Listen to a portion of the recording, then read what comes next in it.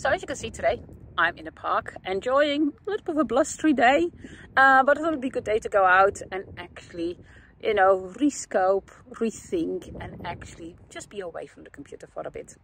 Uh, and so I thought in today's Salesforce Unraveled, let's talk a little bit about work-life balance. So a bit more of a soft topic, so not necessarily strictly related to Salesforce, it relates to everything. But I think Salesforce can play a quite important role in this. Now, why is that?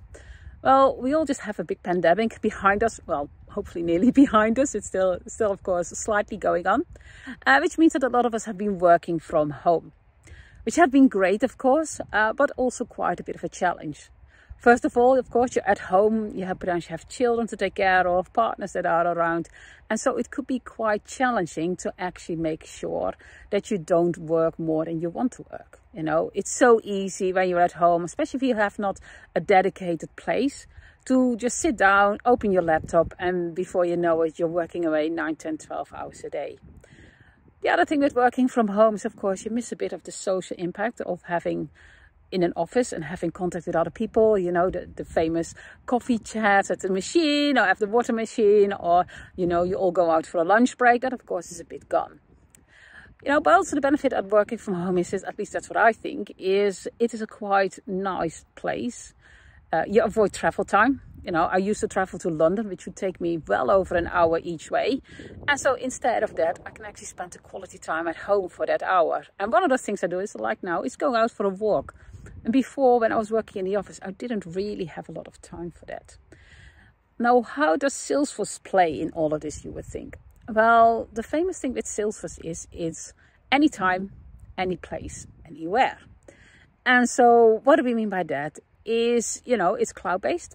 So as long as you have internet connection, you can always connect to Salesforce, either through an app or through just going into uh, a browser and typing your URL in there. And that can be quite tricky. So especially if you use the app and if you have your notifications on, before you know it, you know, messages start pinging out and about throughout the day. You know, you might be queuing at the supermarket to pay for your groceries. You might be in a doctor's practice or maybe, you know, at your child's school's play or sports event or something like that. And, you know, if you have your notifications on, they start pinging and you will pick up your phone and you start maybe responding to them which is also nice because it means you're not dedicated to sitting at home all day and only working from there. But of course, the balance between where do you work and not work can be become quite a tricky one. And it's really down to how you stand in your life, how you work with your boss, how you work with your company to make sure that, you know, you're not working more than you should be and to make sure that you also have time for yourself.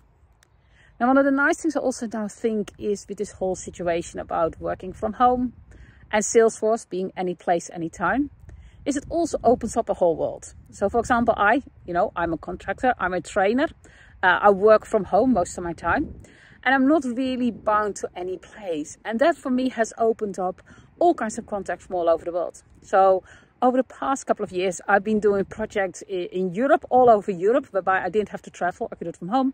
I've been doing projects in America, I've been doing projects in Australia. Australia is a challenge, I have to say, because that means I have to work night times, uh, which is not as easy. But for example, with America, it just means, you know, I go work a little bit later, so I start late. You know, you start in the afternoon, you work till after dinner. Your dinner is basically your lunchtime for there. And it means that you can work till late at night um, and you just sleep in a bit longer. And it does mean that you can get opportunities at you that you normally wouldn't get. I think a lot of people forget um, it's still fresh for a lot of people to work from home. You know, I've been there for the better part of over a decade now. That people think that you have to work in the same place as where you live. So if you live in London, you work in London. You know, if you live just outside London, you most likely also end up working in London.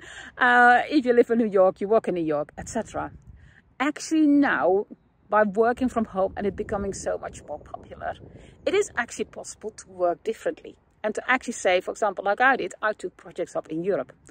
And it actually worked out really well. It can also for you work out really well with your home life balance. Because you might say, actually, if I could start my workday two hours later by working from a different time zone, a different country, it means in the mornings I can spend quality time with my family It means that when there is a lunch break, it's a dinner break. So that also would work out. And then I'll work okay in the evenings, the family, the partners, whatsoever are already in bed. I just work an extra two hours. But it means that I can actually spend quality time when I want to with the people that I want to spend my time with. So I think for me, this whole situation over the last couple of years has actually made it far easier to look further in the world. Of course, the downside is also is the competition field has opened far wider. You know, before you were only competing with the people in your area. Now you're pretty much competing with everybody else in the world. And so for that, it's important also that you make sure that you stand out. So we talked already in some of the other videos about learning paths. Uh, we talked about trailhead and all those things. It's important that you do those things and to find your best way to deal with all of this. I think it has ups and downs. Uh, I think it's the way of the future. I think it will be far more people getting maybe combined contracts. that is like maybe a couple of days in the office, a lot working from home, maybe full-time working from home. Salesforce also really makes that really easy because it's cloud-based. You don't have to download anything. As long as you have internet at home, you know, you're good. That's the only requirement.